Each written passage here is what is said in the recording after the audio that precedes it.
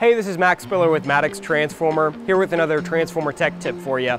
Now the traditional type of bushing is called live front, and it looks something like this. Uh, now it's called live front because the place that the terminal is actually made is live, it's exposed, right? So there's actually electricity flowing through this. Uh, you don't want to get close to this because arc flash is a concern. Uh, you certainly don't want to touch it, right? You'd get electrocuted. So this is a live front bushing. That's what that kind of terminal looks like. Um, the components in this bushing are the spade, which is the actual place that the termination is made. And then there's actual bushing, which is made out of usually porcelain or epoxy. These little ridges are called waffles. And what those prevent is something called creep, right? So with arcing, you're concerned about electricity going through the air to ground, right?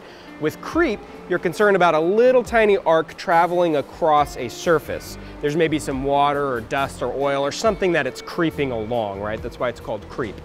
Uh, so what the waffles do is they allow us to get a ton of surface area in a short space, right? If you were to expand out all the surface area, it'd be huge right? And that's as much clearance as you need to prevent the creep, but it's compacted into these waffles, right?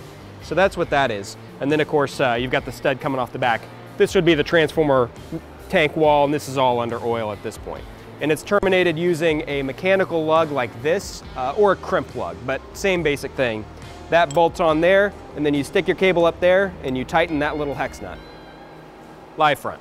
Now these days, most transformers, well not most, maybe two out of every three transformers uh, come with dead front bushings. It does the same thing, but it uses a fully insulated bushing. This transformer right here is a good example. It's a loop feed, uh, dead front transformer.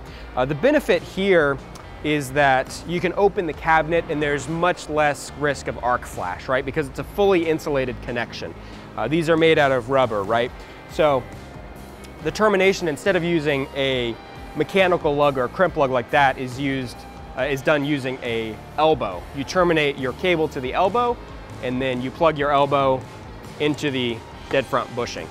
Now this is actually an arrestor, but it kind of looks like a transformer elbow, so it works. Again, this is fully insulated. You plug and play. Uh, these are called load break elbows because you can actually break the load on them if you have to, right? Sometimes the utility will do that. It'll be plugged in, utility will get their hot stick, yank on this thing right here and break the load to turn the transformer off. So that's dead front versus live front bushings.